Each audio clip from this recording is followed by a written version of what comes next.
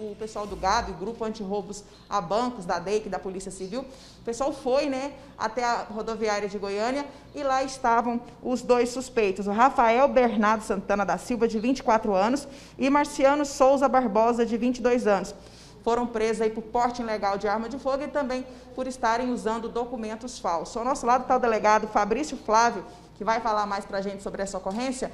Esconder aqui em Goiás nunca foi uma boa coisa, né? E esses foram recebidos logo na chegada. Nós recebemos essa denúncia anônima né, de que o Rafael estaria em fuga, em trânsito de Eurilândia do Norte do Pará para sua terra natal, que é Cuiabá, no Mato Grosso.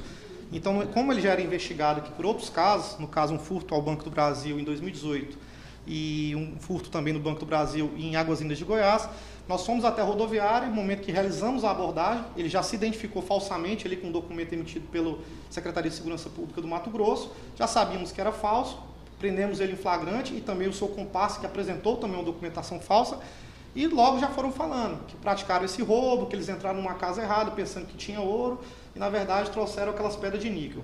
Mas como já estavam lá, levaram tudo da família, inclusive Bíblia, levaram, fizeram obrigar a fazer um pix para conta de terceiros no momento dessa, dessa abordagem e vieram para Goiânia com destino a Cuiabá, no momento em que nós realizamos essa prisão do Rafael e do Marciano.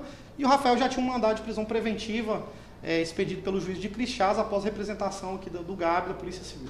Deram alguma justificativa? Foi contando tudo? Como é que foi isso? Não, eles confessaram, inclusive o Rafael confessou a participação em Crixás, em Águas Lindas, né? Falou como é que é o modus operandi, como ele agia no caso. Ele era o responsável por carregar os objetos entregar para os demais indivíduos praticarem o arrombamento dos cofres nas instituições financeiras. E a prisão foi convertida em preventiva? Exatamente. Nós representamos pela conversão da prisão preventiva, foi decretada pelo Poder Judiciário. Atualmente eles estão na CPP aqui em Aparecida de Goiânia.